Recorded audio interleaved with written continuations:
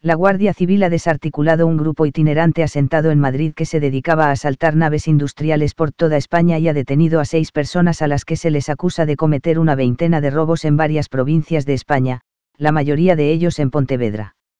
La investigación, que se ha llevado a cabo en el marco de la Operación Sangal, ha sido coordinada por el Juzgado de Instrucción número 1 de Pontevedra, en donde los detenidos pasarán a disposición judicial en las próximas horas.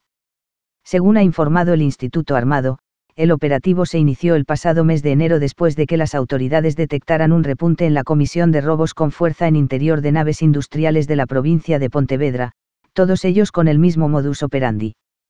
Trece los robos investigados se cometieron en distintas empresas de los municipios pontevedreses de Cerdedo Cotobade, Aestrada, Forcarey, Gondomar, Mos, Pazos de Borbén, Vilanova de Arousa, Cuntis y Ponteareas.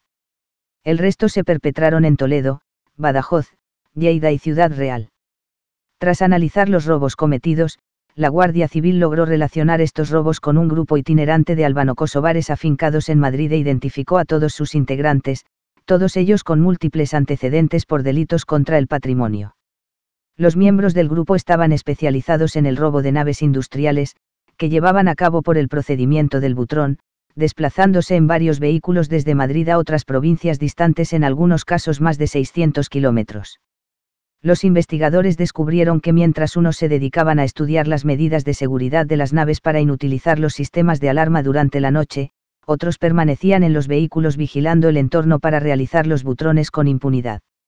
Una vez en el interior de la nave forzaban las cajas fuertes utilizando mazas, hachas, patas de cabra, radiales, taladros picadores o inhibidores de frecuencia, sustraían el dinero y demás efectos de valor y la misma noche regresaban a sus domicilios con el botín obtenido. En la operación se han practicado cinco registros, cuatro en Madrid y uno en Torrejón de Ardoz, en donde se recuperaron una importante cantidad de efectos sustraídos, además de los útiles y herramientas que utilizaban para la comisión de los robos.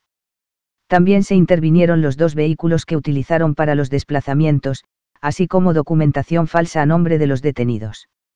A los detenidos se les investiga por los delitos de pertenencia a grupo criminal, robo con fuerza en naves industriales por el método de Butrón, blanqueo de capitales, receptación y falsedad documental.